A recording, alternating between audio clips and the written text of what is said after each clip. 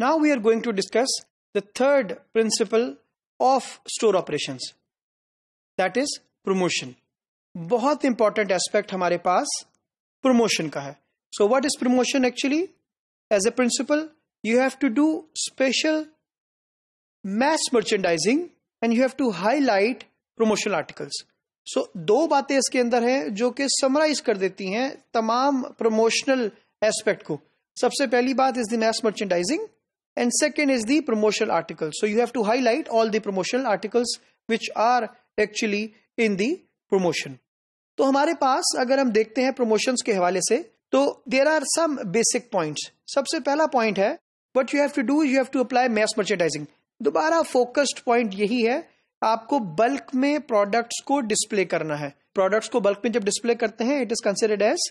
mass merchandising उसके बाद आपको क्या करना है? प्रमोशन के अंदर जो आर्टिकल्स हैं you have to place only promotional articles आपने ऐसा नहीं करना कि you have to mix both normal articles और प्रमोशनल आर्टिकल्स ये means promotional and non promotional so but you have to do कि जो प्रमोशनल आर्टिकल है, वो ही आपको प्रमोट करने हैं वही आपको मेन लोकेशंस के ऊपर प्लेस करने हैं. उन्हीं को आपने हाईलाइट करना है. देन थर्ड पॉइंट हमारे पास है कि you have to respect maximum number of products link to the number of pallets baskets shelves और हुक्स ये एग्ज़ाम्पल के अंदर हम डिस्कस करेंगे कि कहाँ कहाँ पैलेट्स यूज़ होंगे, कहाँ कहाँ बास्केट्स यूज़ होंगी, कहाँ कहाँ शेल्फ्स यूज़ होंगी, कहाँ कहाँ प्रोडक्ट में हुक्स यूज़ होंगे. स्पेशली अगर शर्ट्स लग रही हैं तो let's say you have to place them on the hooks तो वो ये हम डिस्कस करते हैं अभी डिटेल्स के साथ. फिर हमारे पास है match product on the end cap with aisle तो जो फैमिली है आयल के अंदर जो प्रोडक्ट्स मौजूद हैं आपको नॉर्मली प्रोडक्ट्स को मैच करना है। यानी कि अगर मेन आयल के अंदर अगर ग्रोसरी के प्रोडक्ट्स हैं सो जो उसकी मेन शेल्फ है, जो उसकी मेन वी कैप है एंड कैप है, जो उसकी हेड शेल्फ है, ये वो मेन जगह है जहाँ पर इसको मैच करना चाहिए आपके प्रोडक्ट्स जो आयल में मौजूद हैं उनके साथ। अगर ऐसा नहीं है, अंदर जो है वो लेट से ऑयल की कैटेगरी पड़ी हुई है और एंड कैप के ऊपर जो है वो बेवरेजेस की कैटेगरी पड़ी हुई है so maybe it will not go with the same theme तो कस्टमर इसको बहुत ज़्यादा इंकरेज ना करे। So the principle is you have to match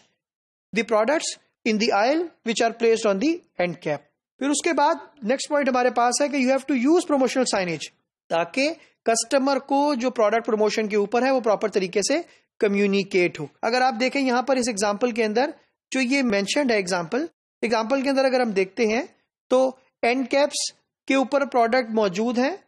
बड़ी विजिबल लोकेशन के ऊपर है प्रॉपर तरीके से उसकी प्राइसिंग मैंशनड है प्रमोशन आर्टिकल प्रॉपर तरीके से हाईलाइटेड है पैलेट्स के ऊपर रखा हुआ है। सो so अगेन और मैस मर्चेंडाइजिंग को फॉलो कर रहा है। इसका मतलब यह है कि the product is actually following the promotional principle को रिलीजियसली फॉलो कर रहा है। अगर हम एक स्टोर का मैप को देखें, एक स्टोर को देखेंगे एक स्टोर में कहाँ कहाँ let say could be the promotional area तो ये हमारे पास एक स्टोर का मैप मौजूद है आपके सामने। मैं वो हाईलाइट करने लगा हूँ वो एरियाज़ जो कि actually consider to be promotional areas क्योंकि ये वो एरियाज़ है जहाँ पर सबसे ज़्यादा कस्टमर का नेचुरल फ्लो कस्टमर का मूवमेंट इस तरफ़ को जाता है। तो ये वो एरियाज़ हैं जो कि आपके सामने हाईलाइटेड है। ये आपको इस तरीके से नज़र आ रहा है। दिस इज़ द एरिया ये वो पैसेज है ये वो रास्ता है जो कि एक्चुअली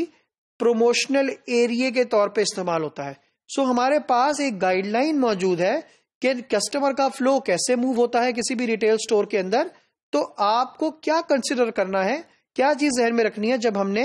एक लेआउट प्रमोशनल लेआउट को डिज़ाइन करना है। सो so, आपको now you know the key areas now you can easily plan the promotional layout in a particular store. तो क्या गाइडलाइंस है इसके बारे में? सबसे पहले pallets baskets and shelves only promotional article should be there high rotation वाले articles हो। वो आर्टिकल जो कि बहुत क्विकली मूवमेंट है, जिनकी सेल्स थ्रू बहुत ज़्यादा है, वो आर्टिकल्स आपने यहाँ पर डिस्प्ले करने हैं। फिर maximum height of any pallet presentation is should be one fifty centimetre इससे ज़्यादा नहीं होनी चाहिए, ताकि प्रोडक्ट जो है वो कनेक्ट रहे लिंक रहे डिपार्टमेंट के साथ, कस्टमर को इजीली वो प्रोडक्ट जो है वो ओवरव्यू ले सके, कस्टमर को इजीली प्रोडक्ट जो है वो नज़र आ सके। और प्रोडक्ट जो है, जो भी डिस्प्ले पे लगाएँ, उसका कनेक्ट हो किसी ना किसी तरीके से उस डिपार्टमेंट के साथ जिसके एंड कैप के ऊपर या जिसके प्रमोशनल एरिया के अंदर वो प्रोडक्ट लगी हुई है। क्योंकि अगर आप हाउस होल्ड के अंदर फ्रूट्स एंड वेजिटेबल की डिस्प्ले का डिस्प्ले लगा देंगे का प्रमोशनल एरिया बना देंगे so maybe of course the customer will not like it क्योंकि कस्टमर हाउस होल्ड एरिया में हाउस होल्ड से रिलेटेड प्रोडक्ट को बाय करने के लिए गया है, वो वहाँ फ्रूट्स एंड वेजिटेबल को बाय करने के लिए नहीं किया तो this will create a bad thing bad word in the eyes of the customer अब हम आते हैं मैस मर्चेडाइजिंग को how to reflect to the picture अगर आप देखते हैं। So this is number one way जिसको हम कहते हैं massive presentation of one article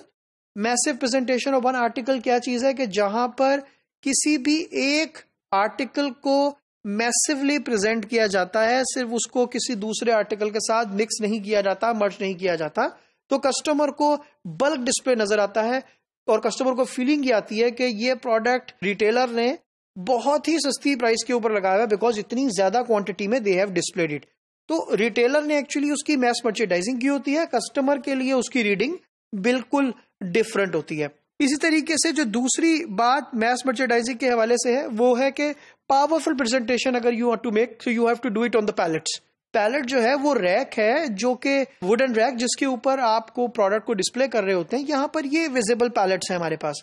so power presentation के लिए ज़रूरी है कि आपने जो डिस्प्ले किया हो प्रोडक्ट का मैस मर्चेंडाइजिंग की हो, वो प्रॉपरली पैलेटाइज हो,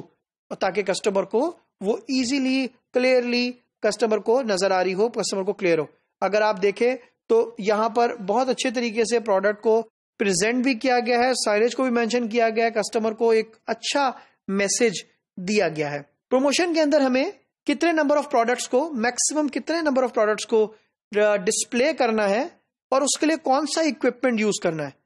ये बड़ी इंपॉर्टेंट बात है, लेकिन मैं इसके ऊपर आपको एक अंडरस्टैंडिंग इन जनरल देता हूँ, ताकि आपको एक क्विकली आइडिया हो जाए कि अगर हमने किसी स्टोर में you have been assigned as a retail guy as a retail operation तो आपको पता हो कि हमें कौन कौन से स्टेप्स लेने हैं इस सिलसिले के अंदर। फॉर एग्ज़ाम्पल नॉन फ़ूड से स्टार्ट करते हैं। तो अगर नॉन फूड्स में कौन सा इक्विपमेंट यूज़ होगा? अगर लेट से हम बात करते हैं स्पेशली प्रोडक्ट्स जो कि क्लोथिंग से रिलेटेड हैं तो हुक्स एंड शेल्फ आप यूज़ कर रहे होते हैं two two three products use हो रही होती हैं, और कोई एक थीम हम फॉलो कर रहे होते हैं। नॉन फ़ूड में कुछ ऐसी प्रोडक्ट्स भी होंगी, जिनको आप शेल्फ पे डिस्प्ले करते हैं, और नॉर्मली इस तरह के केस के अंदर दो से तीन प्रोडक्ट्स होनी चाहिए, या एक पर्टिकुलर थीम होना चाहिए। तीसरे केस के अंदर नॉन फ़ूड में बास्केट या बॉक्स की सूरत में डिस्प्ले होता है, जिस तरह अगर वो कॉपी पेपर होगा तो वो बॉक्स की शक्ल में होगा। तो उसके मैक्सिमम नंबर ऑफ़ प्रोडक्ट्स या मैक्सिमम नंबर ऑफ़ बास्केट्स को आपने डिस्प्ले करना है। फोर्थ टाइप ऐसी होती है जो कि पैलेट्स के ऊपर आएँगे। For example generator you want to sell और आपको उसको डिस्प्ले पैलेट के ऊपर करना है। तो maximum number of products and maximum number of pallets आपको जितने उसके ऊपर पॉसिबल हो you have to manage it food के केस के अंदर, दो तरीके से आप प्रोडक्ट को डिस्प्ले कर रहे होते हैं शेल्फ के थ्रू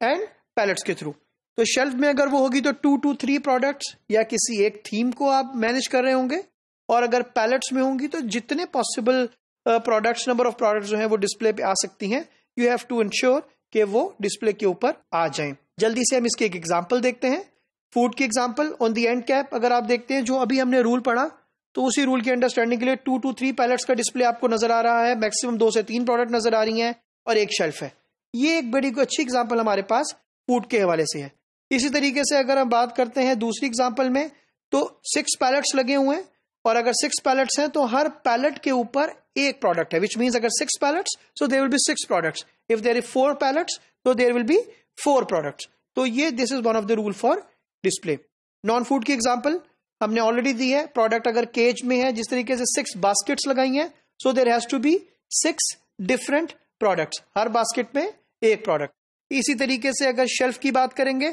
तो दो पैलेट्स हैं pallet number one and pallet number two तो दो पैलेट्स हैं तो दो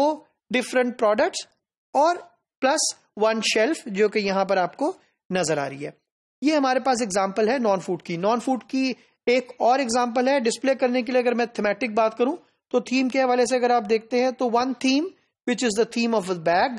और उस पर नंबर ऑफ़ प्रोडक्ट्स भी आपके पास एक ही मौजूद है। और क्लोथिंग की एग्ज़ाम्पल ऑलरेडी अभी हमने डिस्कस की है कि नॉर्मली क्लोथिंग को शर्ट्स को लेट्स कोट्स को जैकेट्स को you have to hang them in the hooks और नॉर्मली एंड कैप के ऊपर उसका डिस्प्ले वन प्रोडक्ट या वन थीम के सिलसिले में फॉलो होता है। एक्सपोजिशन की एग्ज़ाम्पल हमारे पास है। कुछ शेल्फ ऐसी हैं जिसको आपको एक्सपोज करना पड़ता है प्रोडक्ट को, जिसमें यहाँ पर हमारे पास माइक्रोवेव की एग्ज़ाम्पल है, जो कि one of the good examples है, या इसी तरीके से हमारे पास एक और एग्ज़ाम्पल मौजूद है कैश स्टील की, जो कि रिफ्लेक्ट कर रही है कि how you have to expose the product in the shelf जो शेल्फ टॉप के ऊपर प्रोडक्ट है, वो विजिबल होना चाहिए to the customer double placement है हमारे पास के प्रोडक्ट जो है नॉर्मली स्टैक्ड कर दी जाती हैं कि जब आपने डिस्प्ले के ऊपर रखना है प्रोडक्ट को तो you have to stack the products out of the shelf को अवॉइड करने के लिए। आउट ऑफ़ द शेल्फ क्या है? क्योंकि ये प्रोडक्ट हाई रनिंग होगी, इसकी सेल रोटेशन बहुत हाई होगी तो उसको अवॉइड करने के लिए आपको डबल स्टैकिंग करनी है, आपको मल्टीपल स्टैकिंग करनी है, ताकि कस्टमर उस प्रोडक्ट को क्विकली बाय भी करे तो वो आउट ऑफ़ शेल्फ ना हो, और you have to immediately make it के मेंशन करना है आपको कि उसके प्रोमोशनल साइनेज के थ्रू कि ये article is on promotion